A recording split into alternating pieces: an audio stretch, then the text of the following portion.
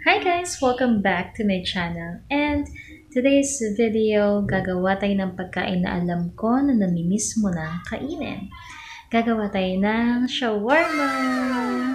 Sorry ang haggard ko. Kakatapos lang ng shift ko today as call center agent.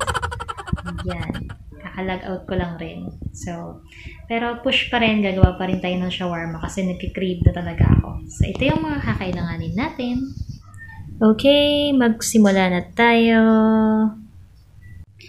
Kakailanganin natin ng pork. Pwede rin naman ng beef, chicken, kung ano yung meron kayo na available sa ref nyo. Kakailanganin din natin ng kamatis, white onion, or yung puti na sibuyas, and cucumber or pipino.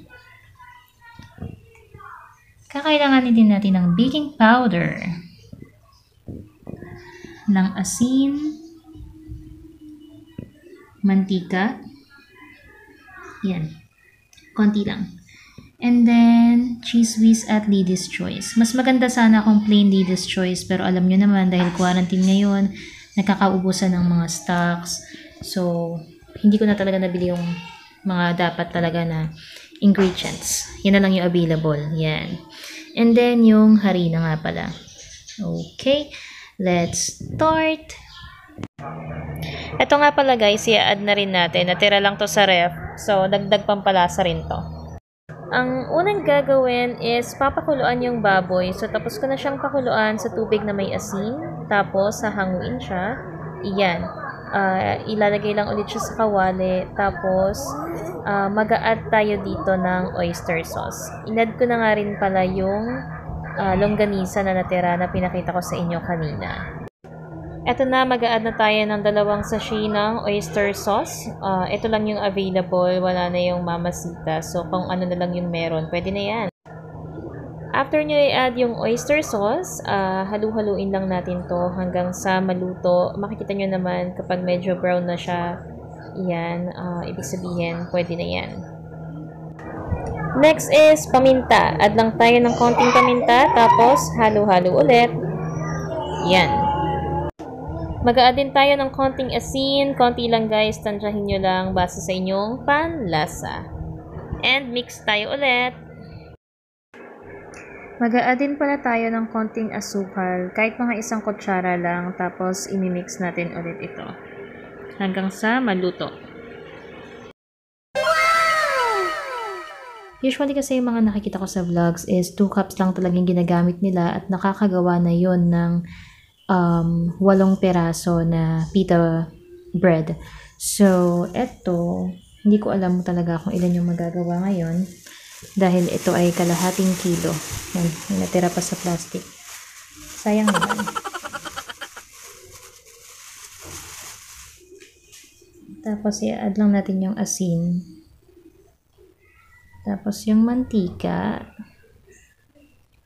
And baking powder. Ito.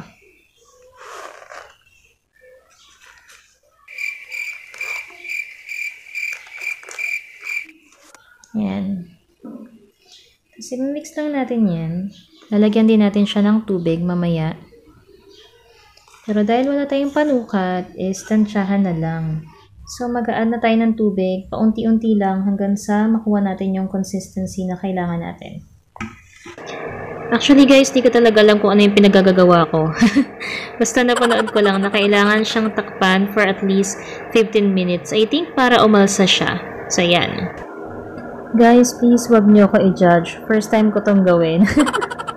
hirap na hirap talaga ako nung una. Dalawang beses ko siyang inulit.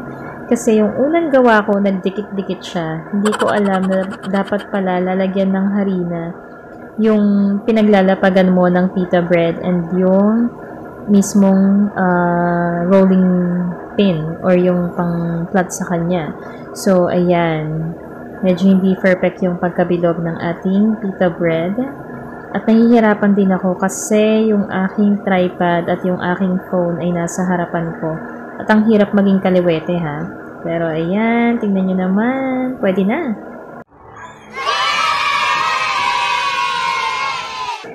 Ito talaga yung gustong gusto ko nang gawin kasi gusto kong malaman kung tama ba yung ginawa kong mixture ng pita bread. So, dapat uh, mabilis lang yung pag-flip ng uh, pita bread kasi madali siyang masunog. So, ayan. Uh, as you can see guys, okay naman siya. Yay! Ito na ang pinakahihintay ng lahat. Siyempre, alam niyo na, dadamihan ko to. Siyempre, akin to eh.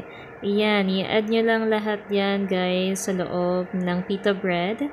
Yung pork, yung kamatis, yung onion, and the cucumber. Alam nyo na yan guys. And then, mag-add tayo ng latest choice at nung cheese whiz. Yum! Mmm, mukhang masarap siya. I-try mo na rin pagkatapos mong panoorin yung video na to. Alam niyo ng kasunod, it's tikiman time! You should try this at home guys. Thank you for watching!